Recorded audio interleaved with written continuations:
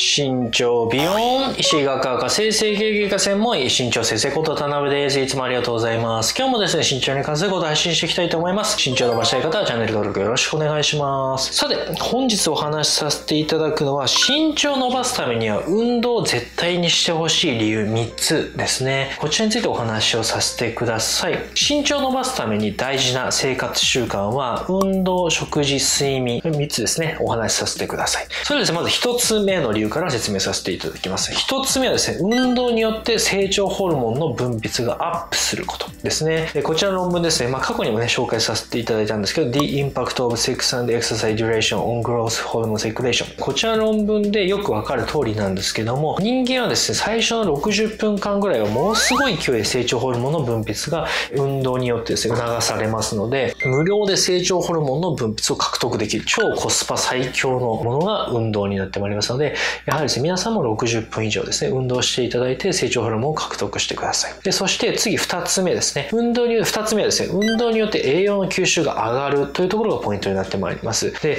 えー、っとですね、もう当然なんですけども、栄養を効率よく吸収することが身長を伸ばすのに大事なポイントになってまいります。で、その中でも、例えばなんですけども、タンパク質やアミノ酸の摂取は身長を伸ばすのにですね、まあ、統計学的に見た時にプラスに働くというデータがありますけども、当然なんですけど、そういうふうに運動後にはですね、そういったタンパク質の吸収率が上がるということが一般的に言われておりますので、そういったですね、身長にとって大事な栄養素であるタンパク質を効率よく吸収できるというのがですね、運動をしていただきたい理由の2つ目になります。そして、身長を伸ばすためにですね、運動していただきたい3つ目の理由は、睡眠の質が向上することですね。運動、食事、睡眠、この中でですね、まあ、睡眠の質も実は運動によって改善するということになります。で、運動していただくとどうですか？皆さん。眠くなりますよね。そうです。その通りだと思います。つまりですけども、運動によって睡眠の質が向上しますし、睡眠時間も長くなると思いますので、まあそういった意味でもいいかなというふうに思います。まあ特にですけども、まあお子さんの中でもですね、なかなか夜寝れないなんていう方ね、結構いらっしゃるんですけども、ぜひ運動してください。やっぱりですね、まあ、しっかりとね、運動していただければ眠くなると思いますのでね。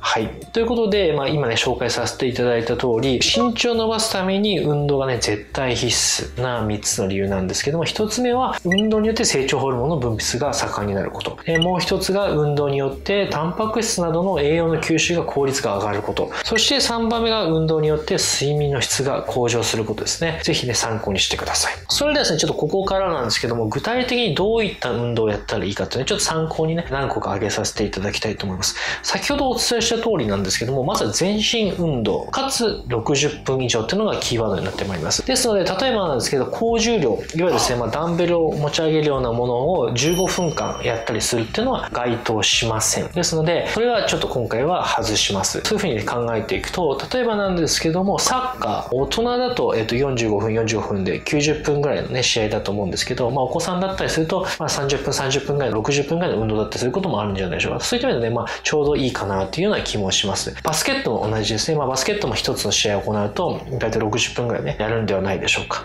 あと、例えば水泳とかもね、一回教室に通うと、きっと大体60分ぐらいのね、教室が行われるんではないでしょうかね。まあ、一方で、例えばなんですけど、まあ、ランニングをするっていう風になってくると、ランニング60分間するって結構辛いと思うので、ランニングはちょっとね、まあ、60分間走りきれる人だったらいいんですけども、そうじゃない人だと、まあ、身長を伸ばすって意味だと効率としてはちょっと悪くなってくるかなと思います。ただし、まあ、何も運動しないよりはですね、した方がいいですので、まあ、家にいたりするときは、まあ、ちょっとそういった風にね、ご両親とかとね、一緒にランニングしていただいたりするのはいいことかもしれません。はい。まあ、こんな感じかな。ということで、えっ、ー、と、今日もですね、身長に関することを配信していきましたけど、いかがだったでしょうか？今後もですね、身長に関することを配信していきたいと思います。身長を伸ばしたい方はチャンネル登録よろしくお願いします。あとですね、コメント欄の方にですね、もし身長に関する疑問がありましたら記載してください。身長先生に聞けのシリーズで答えていきたいと思います。それではですね、よろしくお願いします。身長ビヨーンバイバイ